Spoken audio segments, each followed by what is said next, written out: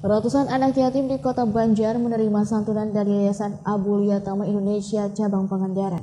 Santunan merupakan salah satu bentuk upaya membahagiakan anak yatim terlebih di masa pandemi COVID-19.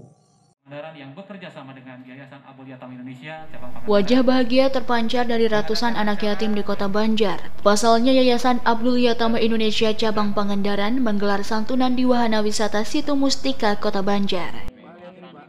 Ratusan anak ini tidak hanya menerima santunan, namun mereka pun dihibur sekaligus diberi edukasi melalui dongeng, permainan, dan kegiatan menarik lainnya. Ketua Yayasan Abu Tama Indonesia Pangandaran Yudi Prihatanto mengatakan pihaknya berencana melakukan program pendampingan terhadap anak yatim dengan cara mengarahkannya menjadi penghafal Al-Quran dan pemberian beasiswa sekolah.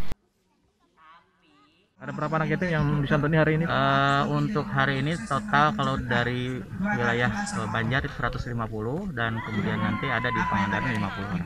Oh. Insya Allah kita ke depan ada program untuk pendampingan. Pendampingan untuk apa nih Pak? Uh, dalam bentuk misalkan untuk uh, kita arahkan ke hafalan uh, menjadi penghafal Quran. Dan juga nanti ada uh, beasiswa untuk sekolah sampai dengan usia yang biasanya umum diberikan. Wakil Wali Kota Banjar Nana Suryana mengapresiasi santunan yang digelar Yayasan Abu Liatama. Nana mengingatkan, memuliakan dan membahagiakan anak yatim menjadi tanggung jawab bersama selaku umat muslim. Atas nama pribadi, atas nama pemerintah Kota Banjar juga mengapresiasi kegiatan ini.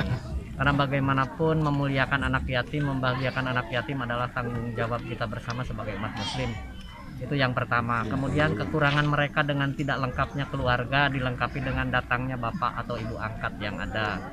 Nah ini tentunya membahagiakan mereka. Ini pak untuk kegiatan seperti ini di kota Banjar gimana pak? Jadi sebetulnya banyak. Hmm.